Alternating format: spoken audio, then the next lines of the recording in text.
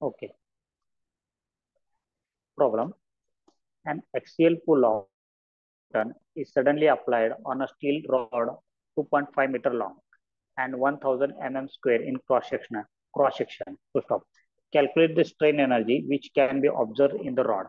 Take E is equal to 200 GPa. So first of all, write down the given data.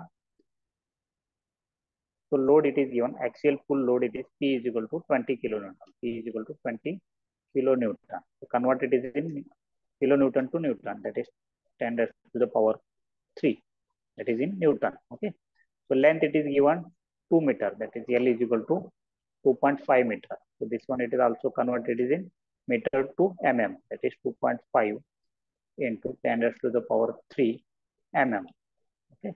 And cross section it is given A is equal to it is 1000 mm square. 1000 mm square. 1000 mm square. Cross section it is given 1000 mm square.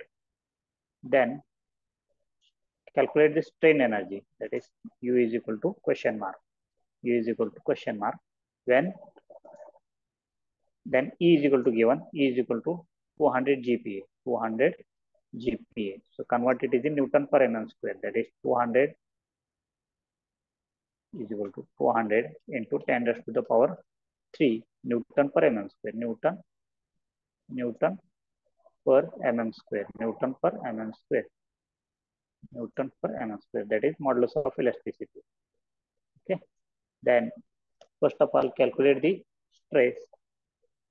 Stress. Stress in bracket. Stress when when suddenly applied load. When suddenly applied load. then suddenly applied load. then suddenly applied load. And suddenly applied load, stress sigma is equal to, it is 2p by a. 2p by a. 2p divided by a. 2p divided by a is equal to 2 into 2 into P is 20, 20 kilonewton. 20 into 10 raised to power 3 newton divided by cross sectional area it is 1000 mm square. So it is 1000 mm square 1000 mm square. It will get stress in newton per mm square.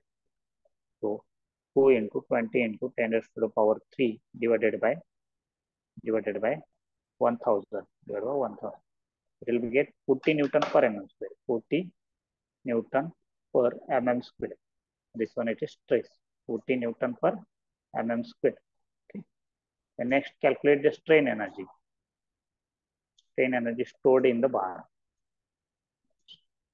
strain energy strain energy stored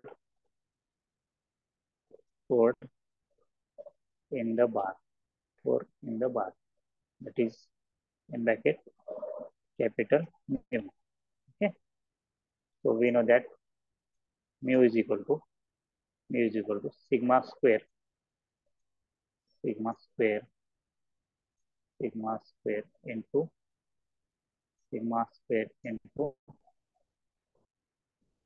v sigma square v divided by 2e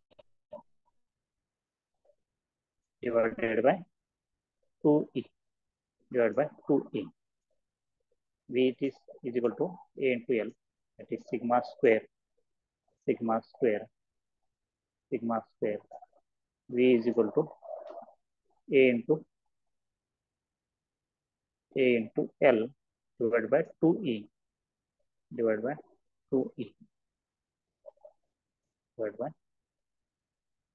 2E put all these value here. So sigma is equal to it is 40 square, 40 square, 40 square, 40 square. Here it is cross sectional area it is 1000 mm square, 1000 and length it is 2.5 into 10 raised to the power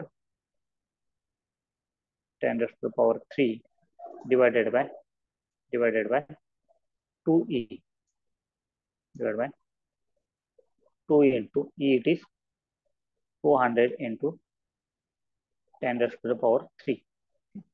So strain energy is equal to now. So 40 square into 1000 into 2.5 into 10 raised to the power 3 divided by 2 into 200 into 10 raised to the power 3. It is 10 into 10 raised to the power 3 Newton mm, Newton mm, Newton mm. So convert it is in kilonewton mm.